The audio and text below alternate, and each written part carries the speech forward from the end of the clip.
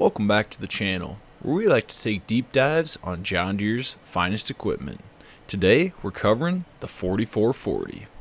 The 4440 has become a staple among farmers and collectors alike, and has truly earned its place on the all-time classics list. But what makes this tractor so awesome? Let's find out. For this story to start, we're going to be going back to the late 70s, where John Deere would be finishing up their run on the 30 Series tractors. Now these 30 Series tractors were the first of the Generation 2s, which followed the 4020s and ran from 73 to 1977. And it was at the beginning in 1977 when John Deere would shut down its production line of the 30 Series and begin getting all their factory employees and tools ready to go to work on the 40 Series. And in 1978, John Deere would release what they would call their Iron Horse series. That would include the 4440. Now, this new 40 series would see quite a few upgrades from the previous 30 series, including cosmetic details, more power, better transmissions, and better front ends. One of the biggest things that separated the 4430 and the 4440 was the engine.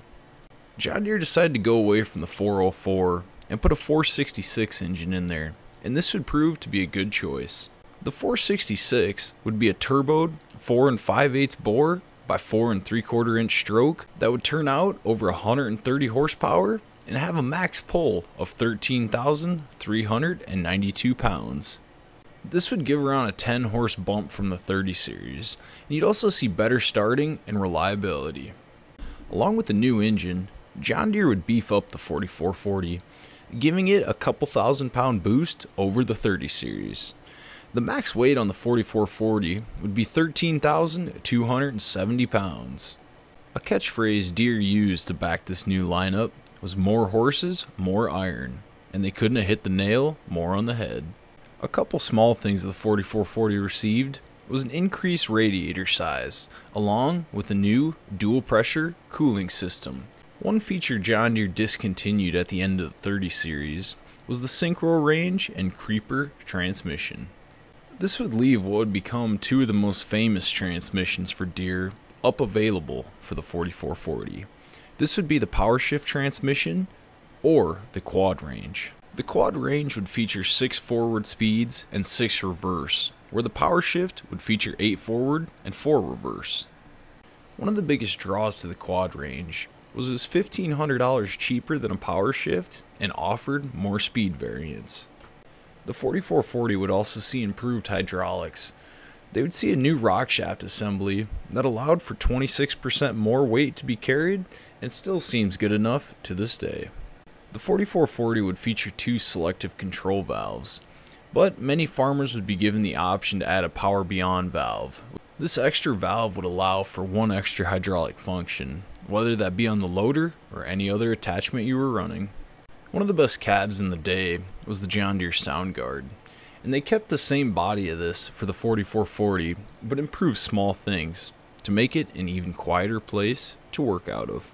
They added more foam and different upholstery in different spots, along with the availability of an upgraded seat. For just over $300, you could have the seat upgraded to a Hydra Cushion suspension seat. These seats would use accumulators that were charged with nitrogen to keep a better ride while going across rough terrain. One thing that was changed at the end of the first production year of the 4440 was the rear axle size. They increased it by about 6 millimeters. The 158 loader would be the main loader of the day built for this tractor, but you'd also see a lot of 148 loaders being put on it, and now today, you even see some of the newer style loaders getting mounted and adapted on. The 4440 would be offered in a couple different variants. One being the normal row crop that we all know and love, another would be the high crop. John Deere would also give the option for hydraulic front wheel assist, but these weren't as common back then and the demand wasn't there. One of the highest selling 4440s all time was sold in 2022 going for $72,000.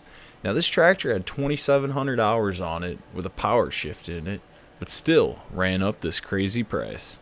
With 66,000 of these tractors produced, it's no surprise that they made it to farms all across the country and became favorites of many people to this day. They'd run the 4440 for five years, cutting the run off in 1982. And it was in 1982 they'd see the release of its big brother, the 4450. Now, this would come on to see even more changes, bringing us an even better built tractor.